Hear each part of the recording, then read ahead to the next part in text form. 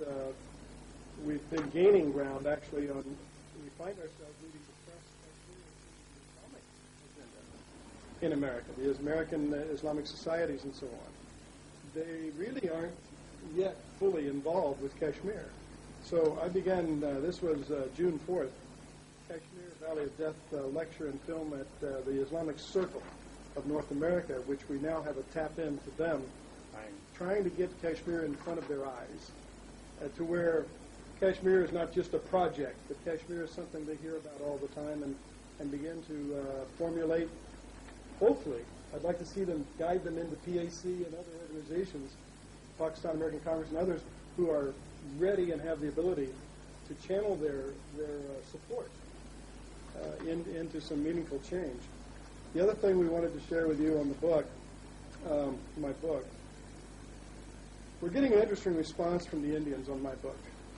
The English I was edition. just going to ask that question. I thought you. What, is, what, what is their reaction and response? First of all, um, I haven't received any death threats recently. I think I put an end to that because I've been saying on the university campuses to the Indian students who attend when they behave. Now, every now and then I have to uh, uh, dress them down. And they come and they start shouting and in the audience, and I say, no, this is not New Delhi, this is America. You'll be quiet and I will speak. If you don't want to be quiet, you're not going. To, you, this is not a shout down. You're not the BJP, and we're not just a few uh, minorities. You're the minority. You're in America. You're supposed to be students. Learn civilization here. Be civilized. You'll be. He was in the audience when I was just really castigating them. They asked like itty uh, fools, so I treat them. And uh, so they were quiet uh, finally. And I told them, if indeed, and, and of course the first statement is they're still trying and look for a way to associate me as a paid agent of Pakistan. And there's nothing to find. And this is the beauty and the wonderful guidance of Allah that when we began this project, it was just myself before I ever met Dr. Arain, before I met anyone. I determined to go to the valley just as an American who cared to see the truth about Kashmir. I had already come back when we met, and he, he tells that story. And that's the beautiful part of this, is that still to this day, and uh, the only, there is no, no link to anything.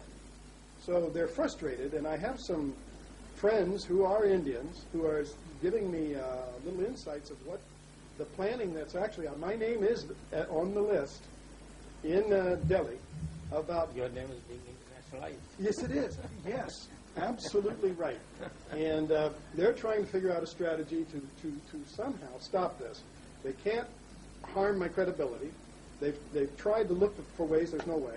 So now they're figuring that uh, the intimidation did not work, the threats of death, because I just told the uh, chancellor of the university. make friends. Yeah, I You think. know, you know Dr. That's sorry it. for interruption. Please. There's a famous, uh, what, would you like to call it, uh, sort of inscription or um, a description uh, in one of their uh, holy books. Mm-hmm. Uh, it says that if you, when you want to kill somebody, you befriend him, Mm-hmm. embrace him, stab him in the back, and cry over the dead body.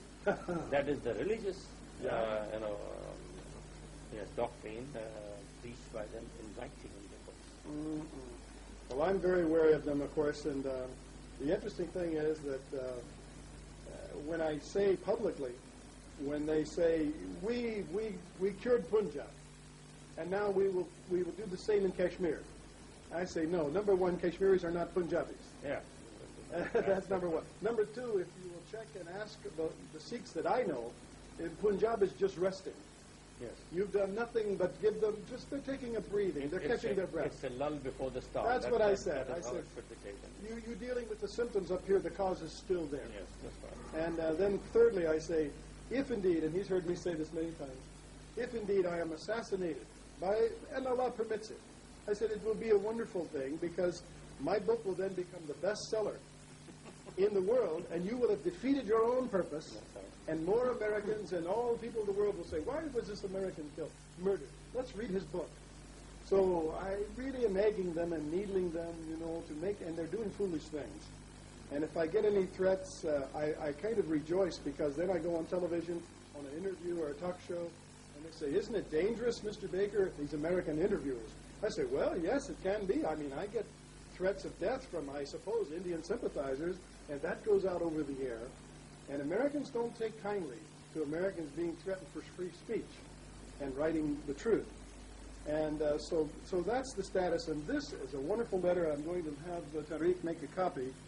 Trinity Ananthararmia is a uh, PhD at Utah State University in our country. I had a program there on the Middle East. I brought up Kashmir. He's an Indian Hindu, and he is such a wonderful young man. In fact, I sent him two copies of my book, and, it, and he presented one to the library. He's one of the honest Indian young men. Well, they are very good people. They're wonderful, and they're the best allies we can find on this subject. Because in the in the West, they'll say, no, it's not just Pakistan. When you bring an Indian scholar or, or an Indian on a program with me, it lends so much more power because here's an Indian uh, contradicting his own government. And this young man, I'll let you make a copy of this, and he said, please use anything, but basically, I wanted you to know, he said, I finished reading your splendid book on Kashmir. It is an eye opener to many of us Indians who are unaware of the widespread atrocities occurring in this region. I donated my copy of the book to the Utah State Merrill Library. The librarian who received the book was impressed by the subject matter and wanted to know more. We spent a good 20 minutes discussing the problems of the Indian subcontinent and the consequences to world peace from nuclear capabilities of both India and Pakistan. He concluded, Your book will certainly educate the general American public on this tragic situation and deeply appreciated the gift to the library. Then he says, I also wrote my congressman, James Hansen, urging him to vote, not to vote for any assistance to the Indian government. This is amazing from an Indian PhD until the human rights situation in Kashmir has been addressed. I'm awaiting his reply. When this response comes, I'll send you a photocopy of the letter. And finally, he says, uh, this is very revealing. I was talking a few days ago to a Kashmiri Pandit who is a postdoctoral fellow in chemistry department here. He had heard of your video on Kashmir presentation when you were here. And he said, I wish I had been there. He told me he would have embarrassed you and would have debunked what you had to say about the widespread atrocities being committed by Indian troops. I suggested to him, knowing you, that he, you would gladly debate him in public. And he replied quickly, Well, I'm returning to Jammu and I will not have time to do so. How convenient. If he claims, this is the revealing part, this thinking young Indian, if he claims he is a Hindu refugee, why is he going back to Kashmir for a comfortable teaching position at the university? It certainly makes you wonder about the hidden agenda of these Kashmiri Hindus who claim they've been expelled from their homes by Muslims, but are free and are still returning to Kashmir, in and out. This, and he says, please keep in touch. Hopefully, we'll arrange a new program on Kashmir for you on this controversial issue here, which must be discussed. Uh, your friend, Trinity. Uh, I just think this is powerful. And this is the result, one little result of one man reading this book, knowing me, and then the other results, for example, uh, I did receive a personal letter from Al Gore, Vice President of the United States. As you know, most of you may not, but I quote him in the book, his Senate resolution passed in 92 when he was a senator very strong language about the atrocities and human rights abuses in Kashmir and the valley, calling upon an international Red Cross immediately access and so on, the things we all have advocated. And so I reminded him by letter before I sent him the book. I actually had it delivered to him, hand delivered, in the White House. I said, you know, you said this here when you're senator. Now that you've simply got a new title, the substance of your statement cannot change. Now, in fact, you are in a position to implement this thing. So please, Mr. Vice President, why not follow up on your statement, which is in the book word for word? He wrote back and said, thank you for sending me the book, the support, encouragement, and, and what I said about him in the book. I appreciate you remembering me this way. And he talks about, but he doesn't mention Kashmir. You see, they've been bitten very hard by Ghulam Nabi Fai taking the letter from Clinton. If you remember, President Clinton kind of said, Dear Ghulam, we share this problem and the concern for Kashmir, and not Fai faxed that all over the world. And, that, uh, that, and that was very unbecoming. should not have been that. You know, I think that's what's happened because I think the response, even though Fai wanted to make good use of it, I think if uh, Clinton may have felt betrayed or somebody, But the point is, I think that's why Gore is being very careful. Now, I'm following up with a letter asking for a personal audience, which I've had before with vice presidents, and I know how to do that, and uh, access to them. And then one-on-one, as we're talking, I'm going to try to ask the vice president of the United States, please, uh, you're a decent man. That's why I said that in the book. Will you, on behalf of these people, please uh, move forward, take the next step? And that, that is my agenda. And then finally, uh, yes, the press conference after you left, we really gave it to Rao. Uh, that was such a perfect timing.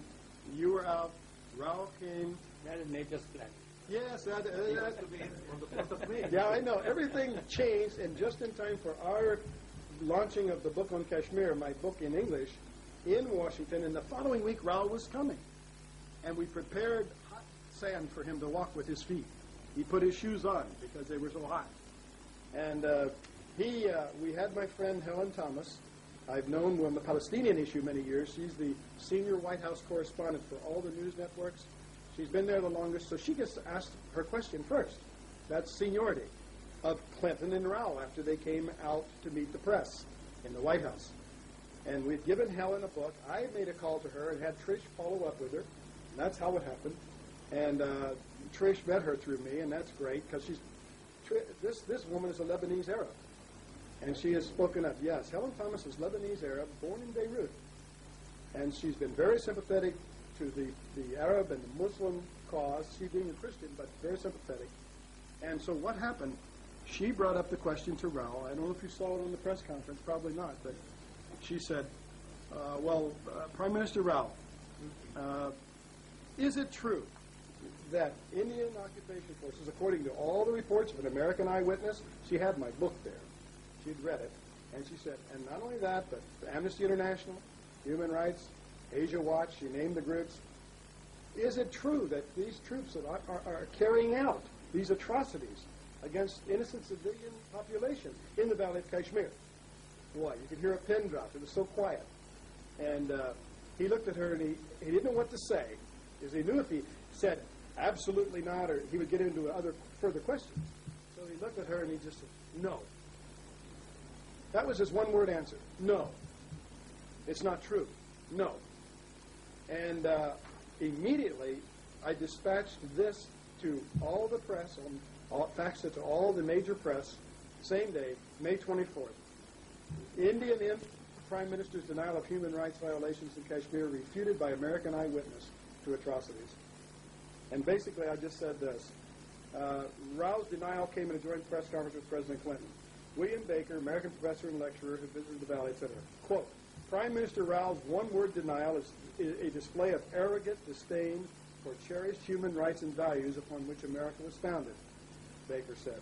He invited this, to accompany him to India-occupied Kashmir and introduce him to the surviving family members of victims of killing, executions, torture, organ removal, and kidnappings. I also said, I don't know when the last time Prime Minister Rao's been to the Valley, but I'll be glad to take him personal tour. And I'll introduce him to surviving victims, and I'll show him some graves of his soldiers' executions. And this, this went uh, to the major the same day. So we, we really pinned him. Uh, he, he really wasn't a successful trip. It really was not. And Clinton then, once this subject was broached, he, when his next session of questions, said, we have continued discussion on differences. Human rights, he mentioned Kashmir. So, you see, I think we opened the door with that question so he could say that. And I really still believe Bill Clinton and Al Gore, Vice President, want to do these things for Kashmir. But we have to give them almost the excuse and the mandate almost to do so. So, so our strategy uh, has been going, and uh, I'm going to let Dr. Uh, Ryan uh, say anything he wishes now. The, uh, we got the facts uh, from Khalid Hassan, your letter that was sent to the President Clinton. The timing was such that we made into a little pamphlet, which was re, retypeset, and we mailed it to all the members of House and Senate. And that way, because the issue was hot, and the book was launched, it was in the news, press. Rao had been there. This year later, uh, when you were leaving, you said, you started by saying, I, I'm visiting your soil and art. So uh, this was basically, I just wanted to show you. And a thousand copies are made, and I just brought few for you. The other thing that happened, we had a little window of opportunity. We have now visited Boston. He stayed at a Four Seasons hotel where most of the dignitaries stay. And there, the advance team from New York uh, had given instructions to the general manager of the hotel that we will not, uh, only whites should serve him. Only whites should serve him because of security reasons. And as a result of that, two blacks who were bellboys lost uh, in a total amount $175 in tips. And this issue came up in the press. And this gave us a God-given opportunity. So we immediately got, remember that uh, black congressman from Missouri that came for lunch? We, Wheat and his uh, staffer, uh, Sami Afridi. And we had Sami Afridi call all 33 members of Congress, and their staffers called the Indian embassy, and you would, a 30-second phone call, there were six, seven pages of facts that they said, no, no, this is not true, uh, you know, uh, we are doing this, but we put them on the defensive. In the end, the hotel, you know, everybody apologized. The hotel paid $75,000 uh, in, uh, in damages to the Boston Human Rights. So, and this created Wonderful. all the negative thing in Indian press saying that this was a disaster. Uh, you know, uh, the Kashmir was discussed in the White House, and this, so. wow, Mr. Speaker, good to see we have the you. pleasure of listening. Oh, you're welcome home, yes, it's good to be here. Wonderful to be home, my other home. So, uh, so well, uh, I think this was the first time where you know, rather than reacting to situation, we were kind of looking for opportunities and we were planting. Actually, the day before Helen, uh, the press conference, uh, the inner circle of uh, Pakistani American Congress, we said our question will be the first question asked, and because we were not sure even the K word, the Kashmir word, will be even uttered in the White House. Yes. And we wanted to be sure that somebody should ask that question. And when Helen Thomas said, you know, it is guaranteed, I'll ask, the, I'll say the Kashmir word in the White House. Uh, and then uh, a lot of people were skeptical whether this will really happen, but we thank Allah that it, uh, you know, uh, it worked out, and she asked the question, and nevertheless, so so much, uh, so much for that. The uh, one of uh, uh, in the time frame from May, June until um, September, October, when this issue will be discussed at the UN, one of the things that you had instructed me was to to keep the momentum up and give an international to internationalize the issue was basically in this window of time frame, three four months. And then we had some meetings. Baker went with me, and we met with the Congressional Human Rights Foundation, which is the group. Uh, they had issued a report. Some of you are familiar. Uh, that report was quite favorable that they issued in Geneva. I think uh, Mr. was there and Ambassador Blackburn read the report. It was favorable. And what they said, uh, we liked basically that they have members. Uh, this has nothing to do with American Congress. Uh, the name may be confusing, but it says it, it deals with, it's an NGO, Washington-based, Human Rights Foundation. Congressional is that they work with the congresses or parliaments of various countries. Not They have- that it belongs to the Congress. Yes, Right. Congress. So they have 115 countries with 1,000 parliamentary people as members. 115 countries. So when we saw this and we met with David Philip, the president, he sent me this confidential memo that I faxed to God. Basically, uh, his suggestion was to internationalize this issue. We should have an organization, uh, their organization sponsor a conference on Kashmir. Initially, he thought Washington, but then, uh, then it was his suggestion that this be in London. And then eventually it evolved the 11th of July being the World Action Day of Kashmir. Uh, and that was basically two British parliamentarians, uh, uh, Roger Godsiff and uh, Lord Avebury, and and he had targeted nine additional European countries, and six out of the nine European countries sent in a parliamentary delegation, which uh, and then uh, which conducted hearings. I gave a testimony uh, as a member of the Physicians for Human Rights, and William Baker gave his eyewitness account. Uh, and uh, subsequent to that, uh, some of these, this was the rightist party, the leftist party, the Green Party. Some one person was the vice president of the National Assembly of Slovenia.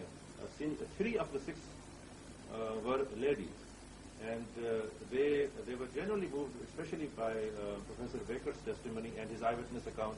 He autographed books for everybody, and the next morning at the House of Commons, the resolution that this issue, the Kashmir issue, must be discussed at the UN and you know, the Goodwill Mission and those, that language was um, uh, was reasonably satisfactory to us, and it's here for the record. This is the original copy from the House of Commons. Thank you. And uh, the same day, in 25 countries, and it's listed here, including U.S., 25 countries on the 11th of uh, July, this draft resolution was introduced in 25 parliaments that day. And uh, it would be that in this within this month, almost in all 115 countries, in the parliaments of these countries, through the members who are the members of this foundation, they will introduce in their parliaments. And so that when we come to UN in September and October, uh, some sort of a debate, discussion, media events in various countries uh, would bring in this awareness of this issue to the international forum. We hope uh, that most of these resolutions, if they are passed in various uh, assemblies, they'll be binding. Some of them are non-binding, but nevertheless, they are the sense of the parliament resolutions. They do carry some weight. And we will we will have a, a dinner briefing for the heads of the missions at the UN in the last week of September, just before the General Assembly session. So that now we bring again people like Professor Baker, and Ambassador lobby Baker, personally. to lobby personally, to give them a briefing saying that this issue is going to be discussed. We discussed in great detail, this morning with Mr. Sheikh this morning Sure and he uh, he he he said that uh, you know that uh, for doing an international campaign that we couldn't have chosen a better vehicle than this because it has all the necessary So very good. all the necessary ring to it, it has the necessary cover to it, it has the necessary package to it. Is there anything anything that we can contribute to this uh, understanding? I, I think I have talked with Tariq yeah, fine. uh, about this and then But that will be very essential to follow it up, you see. Yes. Whatever the input we can uh, afford. Yes, we, we, if they, they are in the process now of, uh, uh, of, uh, of uh, you know, distributing to all their membership, 1,000 members, 115 countries. But it was uh, heartwarming that at least through the effort of this foundation, uh, and there are major If countries. if we, if we get their addresses, we can also address directly these Yes. 1,000 members. Yes. I have, yes, Send them some briefings. send them some briefing saying Yes, that, that's right. Right. that this That'd is. be very appropriate. Yes. Um, and I think it would be helpful. So, uh, basically, uh, the, uh, then. Uh, And how about this um, uh, September uh, UN meeting and briefings and things like that? Yes. Is there anything that you, It is, you it would will. suggest that we can do something? It's probably better that right now we keep it, As soon as I go back, we're going back on the Yeah. 22nd. On the 23rd and 24th, we have a meeting, right? there is a leadership meeting in Chicago, the kind that was held in Washington, uh, that we were in session. You came very briefly for lunch because your schedule was busy, but there David Philip, the president of this foundation, Ambassador Lodhi, and that black congressman, Alan Wheat, are all coming. So it is, we have this meeting every three months. And again, the major focus is our report, we are both going to Chicago, and, uh, to, to say, we don't want to let the momentum go. You see, it's, and we have told Mr. Sheikh, and he agrees that at best we have the next six months. If we could somehow put the stamp of internationalism on this whole issue, I think that's our strategy. And, and, and basically, there are many key players working, and I'm just so glad that this foundation is giving us the necessary cover. And as a result, uh, we have a coalition to bring into the thing too. Well, we get to London at, at the uh, parliamentarian conference, which we just came from when we arrived here. Uh, that's an example right there of the report that came in the news here. Your newspaper called the News. I don't. Yes. The headline. It, it says Professor Baker, Baker narrates harrowing account of Kashmir, and I think it's very moving, and uh, we will have some copies of this. If, we did not even know this reporter was in the audience. The Kashmiri group, Dr. Ayub organized this, organized this, uh, uh, meeting, and the way Professor Baker described all this, and uh, it's quite moving. I, I wish everybody would read this. We'll have plenty of copies for you to read this. Uh, and so, uh, basically, and then many in, within America, uh, the information, and, and we are meeting with, on the American scene, we have targeted four key people. One is the chief of the Congressional Black Caucus, Alan Wheat. Lee Hamilton, who's, who's the chair of the House Forum. Uh, also, Foreign he couldn't, he couldn't be there that day. However, this is a letter by Lee Hamilton uh, written to Dr. Zakar Rahman, who is his, uh, our member and his constituent from uh, Jeffersonville, Indiana, and there he says that uh, uh, that zakat, you know, that I'm sorry I couldn't be there. These things are very important. However, my schedule did not permit, and he has invited. He said, I would like a group of you to come to my hometown, Indiana, and give me a briefing. And we have this thing. We want to get this thing scheduled, and, and this is Lee's uh, letter to zakat, and uh, that's basically our strategy. We want to work with the key congressman through his constituent in his state. Uh, that way, it's away from Washington and it's more personal, and you know, we can discuss more things. So uh, basically, uh, the uh, the momentum is on, and we have some key players. I think Martin Sugar Network and Human Rights Foundation. Uh, there are four works by the American intellectuals on this issue, and then uh, Baker's time and effort, and you know his. Uh, I don't know how anybody could pay him back for what he does because he's readily available and he's so effective. He's so effective with. Uh, with the members Congress that I've seen him one on one with. All we can say is arithmetic Yes. leadership. And I think his, the inner, inner, uh, you know, he feels, he has a feeling for this. commitment. Yes. Well, I, I, I, I made the statement in my book uh, when I left the valley that as long as I have life in my body, as Allah gives me life, that my voice will be your voice. I said to those Kashmiri brothers the day I left them, because I knew I'd never be back until it's resolved, because India would kill me once they knew if I escaped uh, with all this. Uh, but I told them,